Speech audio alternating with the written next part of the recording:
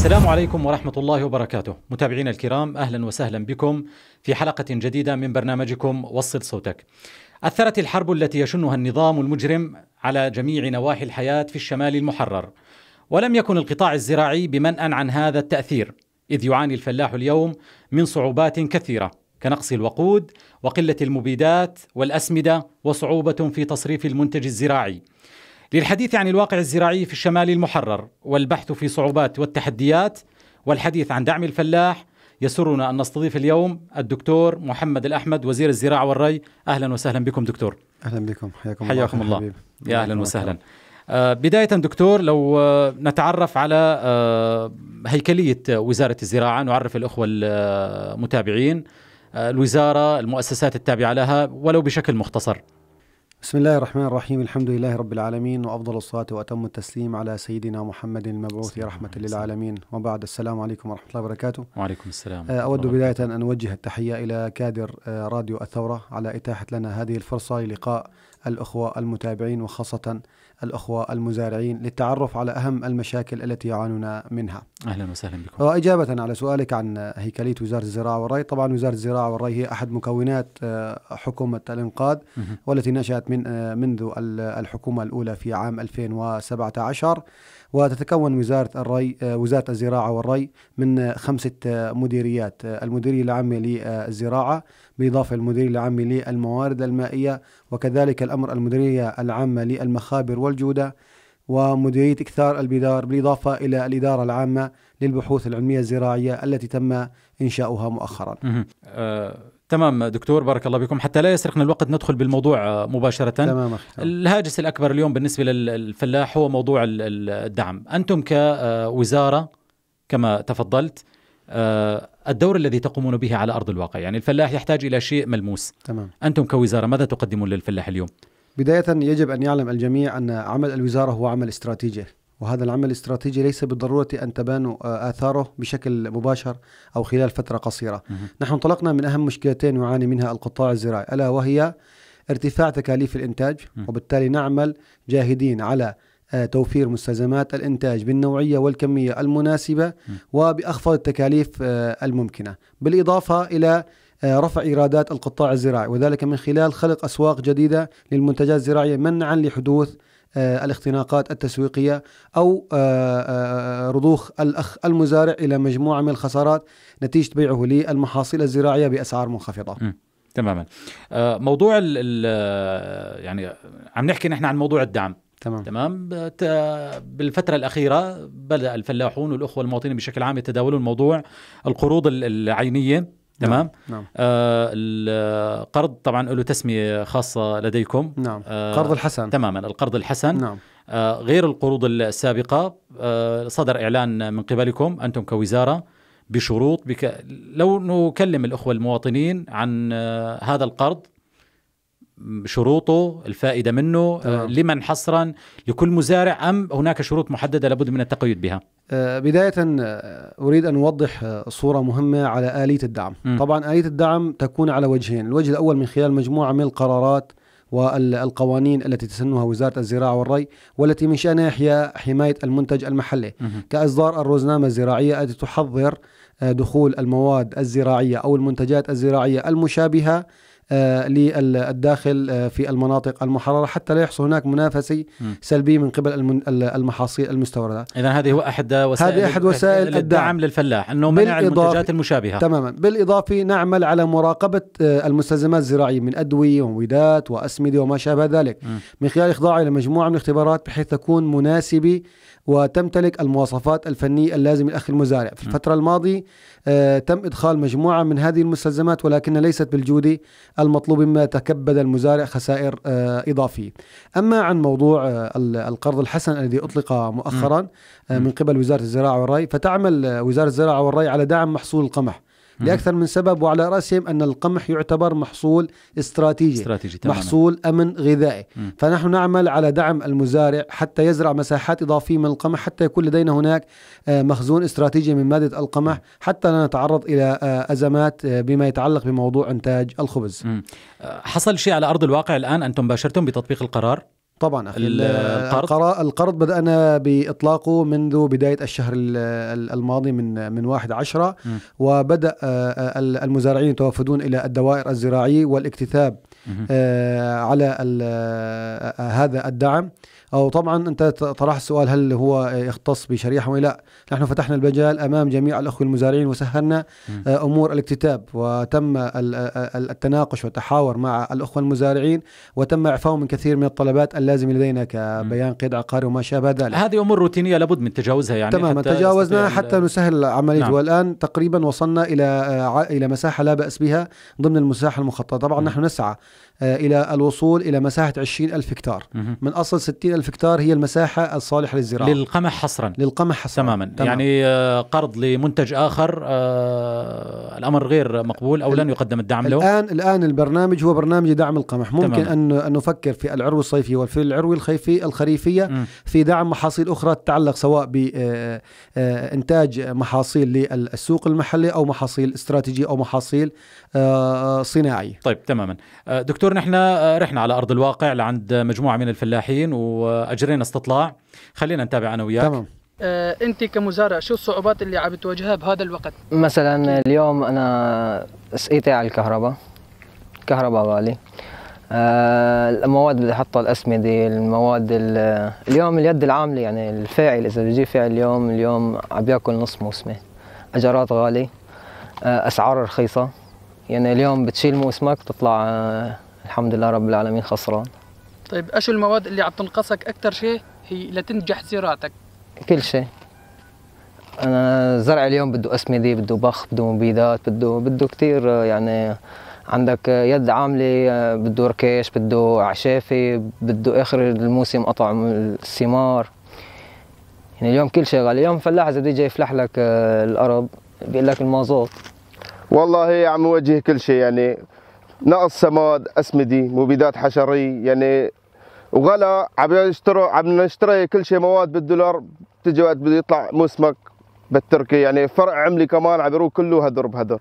يعني الفلاح عم بيشتغل بيشتغل بيشتغل مثل كأني ما عم بيشتغل طاويل غلا مازوت ناقص أسمدي.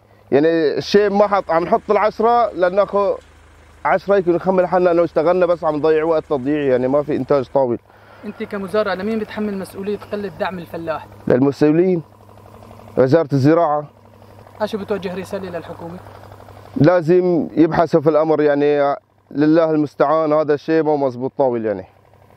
طيب آه، أشو رأيك بالقروض اللي عم تقدمها الحكومة للفلاح؟ هاي نحن ما عم نشوفها طاول ما في هذا الشيء نهائيا. والله ال- السماد غالي ويعني ما ما ما بدعمونا شيء طاول لا سماد لا شيء شيء يعطينا طاول. طيب أشو المواد اللي عم تنقصك؟ أكثر شيء لتنجح زراعتك. متوازن آه فسفور آه سلفات بخ حشري ورقي يعني كله كله ينقصنا يا أخي هلا أهم شيء عندنا نحن التسويق التسويق. أهم شيء التسويق. يعني وقت نوصل للإنتاج بيطلع الإنتاج تبعتنا ننزله على سوق الهال عم بيروح بأرخص الأسعار. وفرع العمله كثير كثير كثير عم يذبحنا. طيب أشو المواد اللي عم تنقصك أكثر شيء لتنجح زراعتك؟ السماد السماد وال والسم المبيدات لمين بتحمل مسؤولية قلة دعم الفلاح؟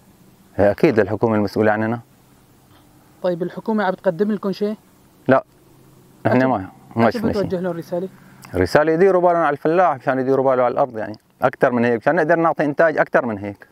شو رأيك بالقروض اللي راح تقدمها الحكومة للفلاح؟ إن شاء الله يكون الخبر صحيح بس ما ما شفنا شيء.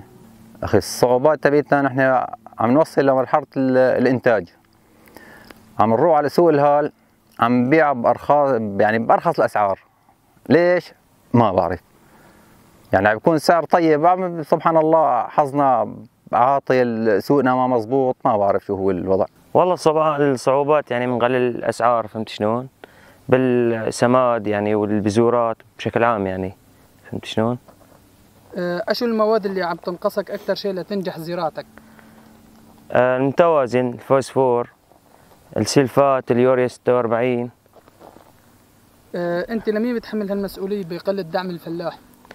للمعنيين بهالشيء هذا أكيد يعني. فهمت شلون المعتنين بالشيء هذا ومسؤولين عنه يعني. الحكومة عم تقدم لكم شيء؟ ما في أي تقدم أو أي شيء. أشو بتوجه رسالة للمسؤولين؟ نتمنى إنه يطلعوا ويشوفوا وضعنا إنه بشوفوا إنه يا أخي فعلا شيء من غلا عم تغسر الزراعة ما في إفادة أي أي إفادة من وراء تقصيرهم يعني حقيقة. آه، شو رأيك بالقروض اللي راح تقدمها الحكومة للفلاح؟ إحنا نتمنى إنه تقدم يعني قروض آه، تساعدنا وتقوينا على شغلنا يعني. بالعودة إليك آه، دكتور محمد. طبعا هناك أكثر من ملاحظة في لو نعقب على الاستطلاع. موضوع ال- ال- اللي لاحظنا أكثر من آه، أخ عم يحكي عن موضوع التسويق. تمام. تسويق المنتج ال- الزراعي. يعني تكاليف ومصاريف كثيرة. وآخر شيء يعني مثل ما تفضل الأخ أنه عم ينزلوا على سوق الهال يبيعوا بأرخص الأثمان. أنتم دوركم كوزراء يعني كيف ممكن تخففوا على على ال- ال- الفلاح بهذا الأمر؟ حقيقة كما ذكرت لك سابقا أن أحد المشاكل تعانيها الم- المزارع هي المشاكل التسويقية فنحن نعمل على إيجاد أسواق جديدة من خلال. آه، تسويق الفائض عن ال- ال- الحاجة المحلية باتجاه أسواق خارجية مم. معروف سابقا كانت آه، المنتجات المحاصيل الشتوية يتم تصديرها باتجاه دول الخليج ودول لبنان والمحاصيل الصيفية باتجاه آه، دول العراق. أسواق خارجية لوين مثلا آه، يعني باتجاه العراق باتجاه. آه، دول الخليج باتجاه دول لبنان. فكانت هذه الدول من أكثر الدول المستوردة للمنتجات الزراعية في في منطقة آه، إدلب. مم. تمام؟ فنحن هسه جاهدين من خلال آه، العلاقات آه، لحكومة الإنقاذ بالتواصل مع الجهات آه، القائمة على هذا الأمر. آه، من أجل آه، إيجاد أسواق جديدة. بالإضافة آه، من خلال تشجيع التصنيع الزراعي بحيث الفائض من الإنتاج الزراعي يتحول إلى إيش؟ إلى تصنيع آه، زراعي. طيب دكتور آه، أنت تتفضل تقول نعمل على خطط لتصدير والتخفيف آه، عن الأخ المزارع نعم. بإنتاجه بتسويقه آه، أحد ال- ال- المسؤولين ووصلتنا معلومة أنه آه، خلال عام تم استيراد 40 ألف طن من مادة البندورة. تمام. تمام؟ طيب تمام. نحن كوزارة زراعة كبلد زراعي معقول نحن نستورد هذا ال ال ال الكم الهائل وبلدنا؟ أنتم دوركم كوزراء وزارة زراعة دعم المزارع معناته أنتم لازم تشتغلوا على هذا الأمر. 40 ألف طن هذا رقم آه، دكتور برأيك يعني آه، رقم هائل هو, هذا هو يعني. يعتبر رقم كبير وهو طيب تقريبا يعني- تقريبا يعد متوسط استهلاك معناته المزارع. تدمر بهذه الطريقة يعني آه، ولكن- وين راح هذا الأمر هو حقيقة تم الاستيراد بناء على عدم زراعة ال- المزارع لهذا المحصول مم. تمام فلما قام هذا المزارع في هذا العام آه، بزراعة آه، مساحات كافية من المحصول م. قمنا بمنع إدخال هذا المحصول والحمد لله رب العالمين لم تحصل أي أزمة تسويقية ومن خلال دراسة ال- الإيرادات والتكاليف المحصول البندور لو ذكرناه. كان هناك هامش ربح لا بأس المزارع بما يتعلق بمحصول البندورة و- وكذلك أمر لم آه، ترتفع أسعار المحصول نتيجة منعه دخوله من الخارج مم. إلى إلى قفزات في سعره بينما كان إيش هناك مراقبة للأسواق آه، وتحكم وضبط لسعر ال- البندورة كونها تعتبر مادة أساسية من المواد التي يحتاجها ال- ال- المواطن. للاستهلاك المحلي طبعا نحن على سبيل المثال تكلمنا عن ال- البندورة تمام. يعني كونه هاي المعلومة كانت موجودة عنا أمر آخر لو عقبنا على موضوع الاستطلاع ال- أحد ال- الإخوة قال لك إنه كثير نشتري ال- ال- المواد الأولية الأسمدة تماماً. بالدولار. صح. تمام؟ كل شيء يتعامل معه اليوم بالدولار. ويبيع منتجه بالليرة بالليرة التركية. التركية. طيب وأنت أدرى اليوم بوضع الليرة التركية كيف أصبح؟ صح. طيب هذا تقريبا آه، آه، الفلاح أصبح بوضع آه، لله المشتكى. أنتم كوزارة زراعة ما دوركم بهذا الأمر؟ يعني عم يشتري بالدولار معناته لازم يبيع بالدولار بهاي الطريقة. حقيقة هذا هذا تتولون دوركم بهذا الأمر يعني, هذا- لازم يكون هذا لكم دور هذا- بهذا هذا الأمر. الأمر يتعلق بالمنظومة الاقتصادية الموجودة في المنطقة المحررة وليس فقط مناط في في عمل وزارة الزراعة. مم. لا يستطيع تستطيع وزارة الزراعة أن تفرض أسعار المنتجات الزراعية إيش؟ آه، بالدولار. والأزمة الحاصله حقيقة هي أزمة أزمة عالمية اليوم مم. اللي هو ارتفاع مستلزمات الإنتاج آه، تكاد تصل إلى أكثر من 200% مهم. اليوم آه، يعني سعر السماد كان بحدود 370 اليوم أصبح بحدود 730 مم. فأسعار تضاعفت وهذا. يعني يقاس على باقي المواد حتى بذار القمح هذا العام إيش تم يعني تم آه رفعه بشكل كبير جدا. فلذلك سعت الوزارة تقديم القرض الحسن بما يتعلق بمحصول القمح فنقوم بتقديم هذه المواد بالسعر التكلفي. اليوم نحن نقوم بتقديم سعر البذار ب 380 بذار معقم. محسن مغربل مم. متريل أي آه، خائب 300 380 آه، دولار لطن ال- البذار طن الواحد طن الواحد بينما اليوم سعر ال- البذار أو سعر القمح المعد للطحن. يتعدى 370 دولار تدعمون أنواع محددة من القمح أم كل الانواع مثلا كل الانواع هي الأنواع. التي الموجوده هنا أنواع الطرية، القاسية ال- و- كله. والطري لأنه هناك في مناطق ترغب بزراعة القاسية ومناطق مم. ترغب بزراعة آه، الطري. فنحن نقوم بتقديم هذا البذار بعد تعقيمه وغربلته وتريلته حتى يكون خالي من. من البذور الغريبة وتقديمه للمزارع على آه، بسعر إيش بسعر أقل من سعر التكلفة لديكم مكاتب للتسجيل بكل المناطق لو أكيد. عدنا يعني لموضوع نعم، نعم. القروض بكل بالنسبة المك- لهذا، أعطيتم آه، المنطقة المحررة تقريبا نحن لدينا. بحدود ال 12 دائرة زراعية منتشرة على كل المناطق المحررة. آه لتخفيف الاعباء السفر للاخوه المزارعين يتم التسجيل هناك ومن ثم يتم ترحيل هذه المعلومات إلى مركز الوزارة مم. وتقديم البذار الآن هو مركزي آه يأخذوه من آه مكان الذي يتم فيه تعبئة البذار بعد تعقيمه وغربلته باقي ال- ال- المستلزمات التي سوف يتم دعمها سوف يتم دعم آه تقديمها في. مراكز في مراكز قريبة لأماكن ال- الزراعة كالمبيد الأعشاب العريضة كالهيوميك أسيد وكالمحروقات وكذلك الأمر السماد سوف يتم تقديم هذه المواد بسعر التكلفي مم. حتى نخفف الأعباء على الأخ المزارع وأنت تعلم أن سعر القمح آه، يرتبط بالسعر العالمي فإن شاء الله سوف هنا يتحقق هنا السؤال نعم. سيتدخل موضوع التصريف بال إيصال المادة للمستهلك؟ أكيد نحن آه، عبر وزارة طبعاً بالدولار. بالدولار. عبر وزارة الاقتصاد سوف يتم شراء المحصول بال- بالدولار. طيب استلام المحصول من الأخ المزارع. نعم. لنفترض مثلا أنتم كان لديكم خطة باستلام المحصول عند جنيو. تماما. ستستلمون أيضا بالدولار أم بالليرة لا التركيه بال- بالدولار. لأنه نحن نفس السؤال عم نحكي. لا لا يعني بالدولار. اكل المزارع من هالناحية. نحن هاي. آه، نحن عم يشتري ال- بالدولار؟ منذ, منذ ثلاث سنوات. نستلم ال- القمح من الأخوة المزارعين بالدولار. نحن نعلم آه، مدى تفاوت الأسعار ومدى آه، آه، ال- ال- ال- ال- ال- ال- التلاعب بقيمة صرف العملات. سابقا كانت الليرة السوري. من فترة بدأت الليرة التركي تمام؟ فلذلك نحن نعمد على شراء المنتجات الزراعية الاستراتيجية كالقمح وما شابه ذلك بالدولار. موضوع شكاوى بعض المزارعين طبعا دائما هو خفض الدعم إنه أو بالأصل ما في دعم. تمام. لاحظنا أحد الأخوة المستمعين عم يقول بالنسبة لموضوع المحروقات البذور الأسمدة المبيدات كل هالأمور هاي أنتم تقدمون شيء على أرض الواقع؟ نحن منذ عام 2017 نقوم بتقديم المحروقات بسعر التكلفة للأخوة المزارعين الذين لديهم تواصل معنا. تمام. وممكن أن نعود إلى سجلات دعم آه، تقديم هذه المادة على مدار على مدار العام. بالتعاون مع الشركة ال- الموردي التواصل مع مين؟ مع الوزارة مع- أم لا لا، لديكم مع- مثلا مديريات؟ مع- لدينا دوائر منتشرة لدينا ثلاث مديريات مركزية مم. تمام؟ ولدينا دوائر آه، بحدود 12 إلى 13 مدير آه، دائرة منتشرة في المناطق المحررة. مم. الوصول عن طريقها طبعا. ويتم الاستلام من, من هذا فيما يتعلق بالمحروقات بالمحروقات الأسمدة المبيدات آه، طبعا نحن. نركز نحن نركز على المحروقات كون المحروقات هي آه، تعد أكبر تكلفة تحمل المزارع مهم. تمام العنصر الرئيسي باقي المستلزمات نراقب جودتها عن طريق مخابرنا مم. عن طريق مديريه آه، المخابر والجودي فنسمح بدخول ال- الأسمدة والمبيدات ذات الجودي ال- العالي ورفض ما دون ذلك طيب بما أنه اليوم المحروقات أسعار غالية جدا وتربطون الأمر عالميا نعم. وهذا لا يخفى على أحد تعملون على دعم مثلا بعض المزارعين وخاصة اليوم نسبة كبيرة من الفلاحين اتجهت نحو موضوع الطاقة تماما. الطاقه الكهربائية. نعم. لديكم خطة مثلا للعمل بهذا الاتجاه؟ آه نعم أكيد. دراسة آه تقديم قروض حسنة للأخوة المزارعين آه بالطاقة الشمسية هي دراسة معدة من فترة وجاهزة. ولكن أنت تعلم اليوم آه موضوع آه موضوع توريد هذه الألواح مم. متعلق بالسوق الخارجي إلى الآن لم نحصل على آه، جهة آه، تقوم بالالتزام بالسعر وبالكمية ولكن من خلال العلاقات سوف إن. شاء الله نحصل على كمية ندعم بها أكثر من ألف مزارع أو ألف بير مهم. للطاقة الشمسية باستطاعات تراوح من 30 إلى 55 آه، أحصان لل يعني للغاطس. الشيء بالشيء يذكر بما أنك تحدثت عن موضوع ال- الآبار. لدي طبعا آه، سؤال. تمام. بالنسبة لموضوع ترخيص ال- الآبار نعم. آه، أعدادها ملاحقة المخالفين. تماما. بتاريخ 1 6 أصدرتم أنتم كوزارة الزراعة قرار بمنع حفر الآبار من تاريخ 1 6 حتى تاريخ 1 10 تماما. طبعا تحت طائلة المسؤولية.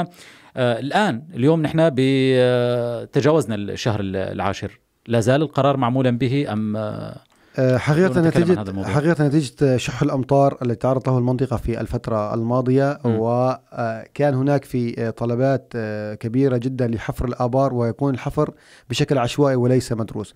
ف ولاحظنا انخفاض مناسيب المياه في الآبار التي تقاس من قبل آه، المديرين العام للموارد المائية فتوصلنا أنه يجب آه، منع حفر الآبار إلا بإذن.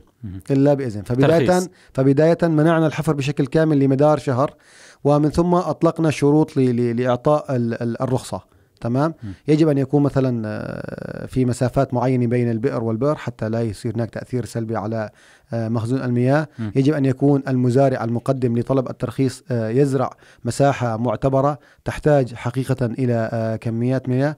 بناء على هذه الشروط نعطي ال- ال- ال- الترخيص اللازم بعد الكشف الذي تقوم به اللجان المختصة. ما رخص وكان عم يحفر في استثناءات؟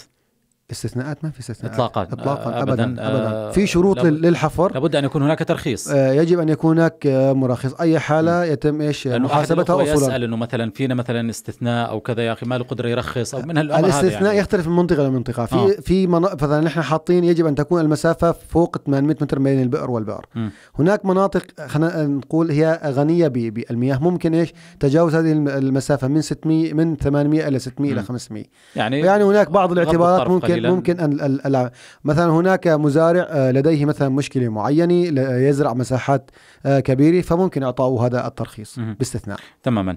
آه، دائما ال- ال- الهاجس الأكبر بالنسبة للدول على مستوى العالم اللي هو نحن نعرف هذا الأمر هو الاكتفاء ذاتيا. تماما. ونحن بلد زراعي والحمد لله وكل المواد الأولية متوفرة. يعني نعم. بالنسبة للأرض الحمد لله رغم ضيق مساحتها اليوم آه كثير من الأمور آه موجودة اليد العاملة أنتم لديكم خطة لموضوع الاكتفاء الذاتي على المدى المنظور على المدى البعيد آه، تماما نحن؟ آه، بقالنا سنتين نصدر آه، خطة الاستثمار الزراعي ونحاول أن نلزم بها الأخوة المزارعين م. من خلال أخذ أكثر من معيار سواء معيار الاكتفاء الذاتي للسوق المحلي مهم. معايير اللازمة للتصدير معايير التصنيع الزراعي وبالإضافة إلى معايير الأمن الغذائي بما يتعلق بخلق مخزون من بعض المحاصيل الاستراتيجية كالقمح وما, شابه ذلك. كما نعمل على إدخال مجموعة من ال- المحاصيل التي تعتبر محاصيل صناعية كمحاصيل الذرة العلفية والزيتية. ومحاصيل آه، القطن ومحاصيل دوار الشمس والفول السوداني. وتم آه، آه، استيراد مجموعة من الأصناف من من دول الجوار. وتم تجربتها في حقول إكثار البذار والبحوث العلمية الزراعية. م. وتم تحليل القيمة الغذائية لهذه ال- ال- ال- المنتجات.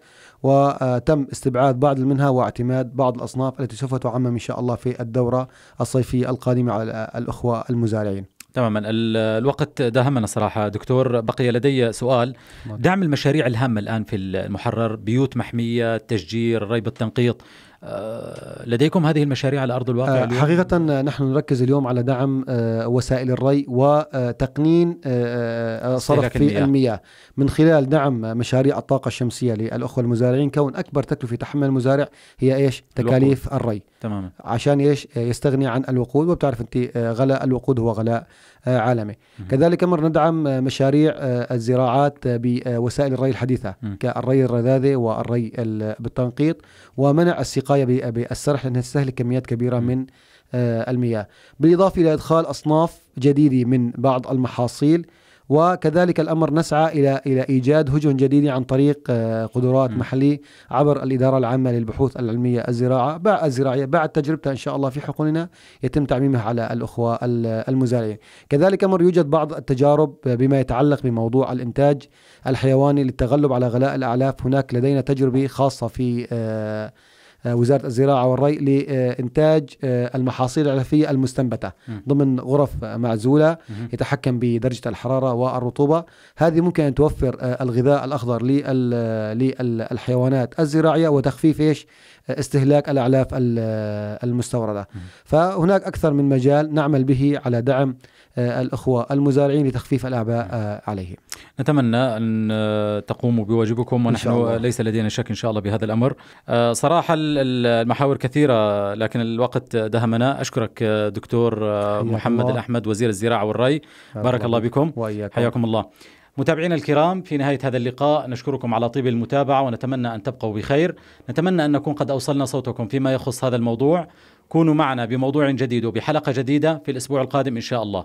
السلام عليكم ورحمة الله وبركاته.